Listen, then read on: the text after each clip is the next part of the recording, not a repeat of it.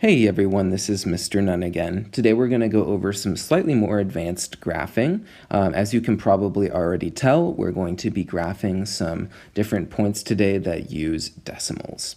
Uh, so let's take a look at our first point. We have point n, uh, and you can see our x-coordinate is going to be one and a half, so or one and five tenths. So of course I'm going to start at my origin. I always start at the origin at zero, and I'm going to count one and a half units over. So I'm going to make make one bunny hop from the origin, but you can see a problem. Uh, I can't go another full unit over because then I'd be at 2, so I can actually only go another half unit over. So I'm going to carefully do one more half unit, uh, and that is going to be one and a half right there uh, between the 1 and the 2. Now I'm going to count two and a half units up because our y coordinate is two and a half. So I'm going to start right there on the x-axis and count two and a half units up one, two, and then one more half unit right there. And I'm going to plot that point and label it n. And of course, you don't have to show those lines. Those are really just so you can follow along. Now, you can use those to check to make sure that you actually plotted that at the right point. You can go back and see uh, our x-coordinate is 1 and a half, and you can draw a line from your point down. And of course, that is at one and a half. So I can make sure.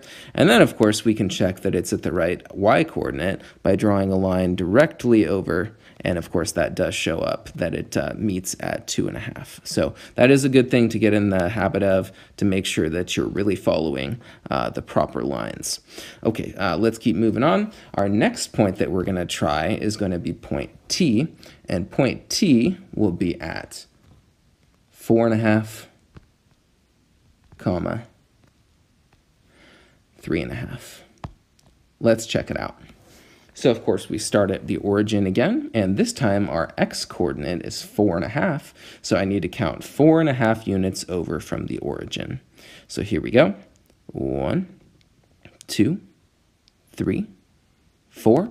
And now I need to go one more half unit over because it's going to be between the four and the five and there's four and a half right there.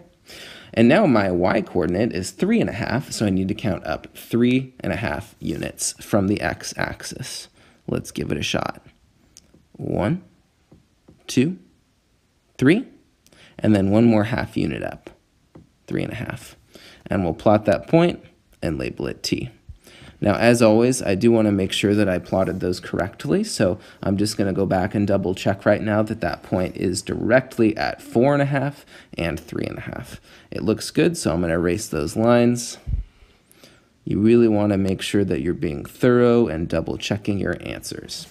Now, I know I said we would be staying in the first quadrant, but I'm going to throw a couple of curveballs at you. So point Z is going to be at six and a half, comma, zero. Now, you're probably already noticing that both of those numbers are not positive. Uh, zero, of course, is neutral, so uh, this is not going to be in the first quadrant. It's going to be on one of our axis lines. Can you guess which one? Let's check it out. So, of course, our x-coordinate here is six and a half, so I'm going to count six and a half units over from the origin. One, two, three, four, five, six, one more half unit, six and a half. And then I'm going to plot that point. We'll make this a little bit bigger so it's easy to see right there. Uh, and that's going to be point Z. Okay. Let me fix that for a minute. That's point Z. Uh, and I want to try one last one with you, and we'll make this point A.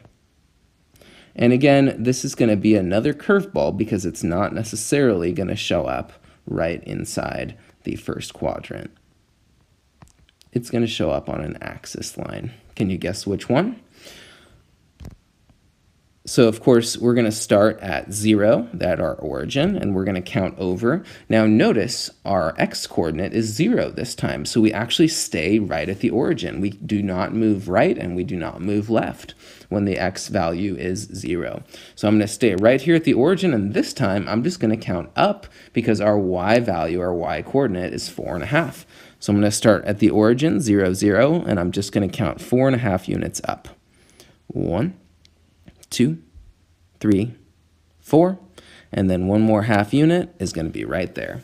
And we'll plot that point a little bit bigger so it's easy to see, and then we'll label that A. So I hope that helps you understand how to plot some new points today. Plotting uh, points on a graph is super fun, but it can be a little bit tricky, especially when you get into decimals. So of course, if you have any questions at all, make sure you email me. This is Mr. Nunn signing out.